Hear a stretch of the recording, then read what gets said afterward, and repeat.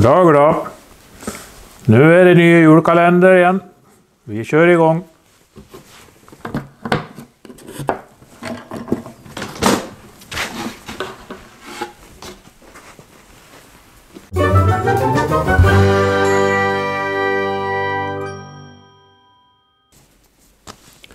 Ja, hej och välkommen till Backblanders Youtube. Jag har hittat en liten kula här. En stålkula.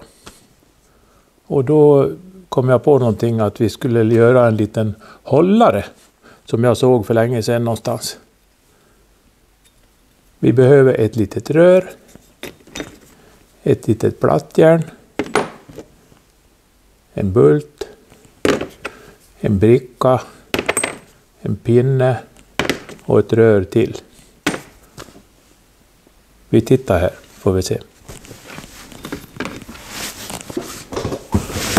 De här små grejerna behöver vi. Vi ska börja med att svetsa fast det här röret. Om man tittar så att här går kulan i det här röret.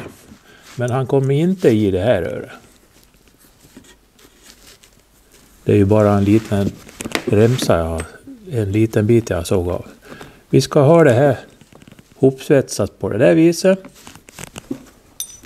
Och i botten ska vi ha den här. Och i det där hålet ska den här muttern svetsas fast. Och på det här röret ska den här svetsas fast bara. Och på kulan ska den här pinnen svetsas fast. En massa små spets. Men jag ska åka och svetsa lite så ja, ni kan stanna här. Ni, kan, ni kanske kan städa på bänken under tiden. Jag kommer snart. Ja, ursäkta, jag glömde att berätta en sak. När ni har svetsat ihop den här, det där lilla röret i det här stora röret och satt på ett fäste på den där, och ni har svetsat på en pinne på kulan här.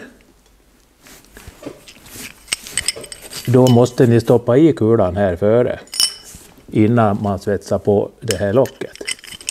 Annars blir det väldigt svårt att få i kulan här i tid. Jag kommer tillbaka. Ja, se en sån fantastisk anordning. Då kan man nämligen lätta på den här skruven och så kan man, om man kanske vill ha plåten just i det här läget, eller i det här läget, eller hur man vill. Så man bara sätter den som man vill ha och så, sen drar vi åt den där, då sitter han ju här. Stadigt och bra.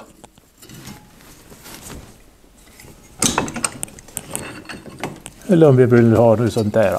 Ofta är det ibland om man ska löda något, eller det kan vara kablar eller ja, vad som helst. Man vill ha det i absolut i ett läge när man ja, löder som sagt ofta. Och då är det bara att lätta på den där. Man kan ju sätta på en pinne där och, eller skicka efter sådana där. Vi har ju sådana här.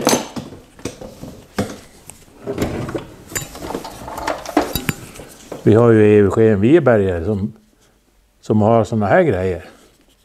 Men nu var det här M8 och jag hade M10 där. Så ja, ja. Men... Och så kanske man vill offra en liten svetsstång eller någon annan eh, klädnypa. Men ja. Jag tycker han ska sitta så där. Och så ska den där vara nedvikt. Då är det väl som jag vill ha det. Det var väl det hela som jag tänkte visa idag. Ha det bra så hörs vi. Hej!